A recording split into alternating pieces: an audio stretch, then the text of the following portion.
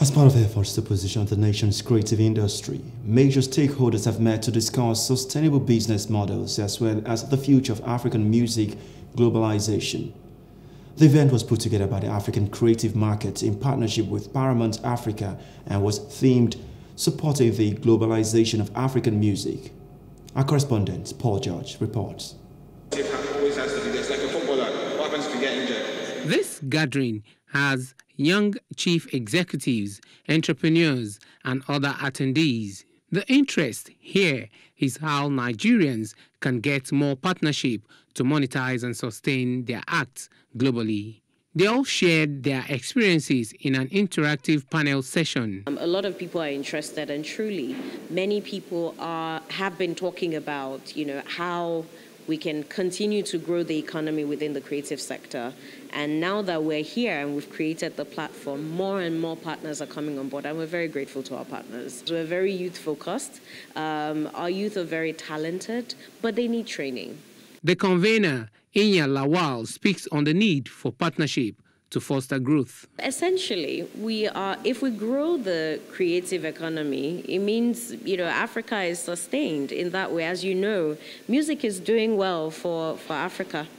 Um, and um, it is one way for ensuring that you know our youth continue um, to sustain themselves. In terms of what's in it for us, we are building a force and growing our general economy within Africa, and we're getting better for it. The keynote speaker, U.S. Consul General in Nigeria, Will Stevens, reels out the support for Nigeria. He says his country has built capacities of different organizations in the country. So the U.S. mission here in Nigeria has invested um, in a variety of ways. So first of all, we've supported organizations like Africa Creative Markets for many years. We support the African International Film Festival each year, financially as well as a, as a partner.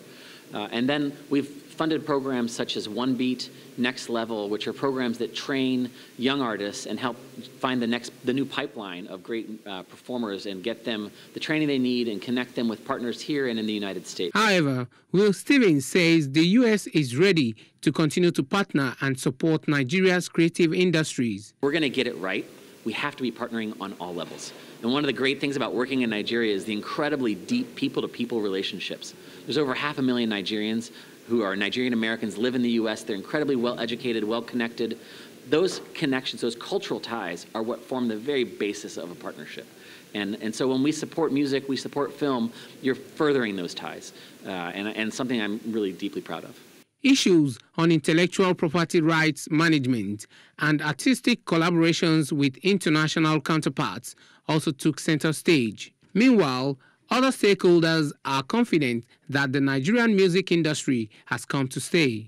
We are focusing for the second year, focusing on intellectual property and enforcing intellectual property, I would say, and also enabling the creative industry with technology. Is if you're informed so that's why we're happy to be collaborating with African Creative Markets this year to have right conversations that'll keep our mind open and prepared for the influx of the entertainment that's going to be coming this way. I tell you guys, fine, we have collaborations now with international acts. There's an Afrobeat category that's been created at the VMAs. Too many times the focus is on, on the talent, on the performers, on the key players. Uh, people have to realize that behind every 2Baba, behind every Wizkid, you know, behind every Burna Boy, is a whole gamut of professionals. To consolidate on the inroads Nigerian artists are making globally, the organizers called for government support for sustainability. Paul George, Plus TV News.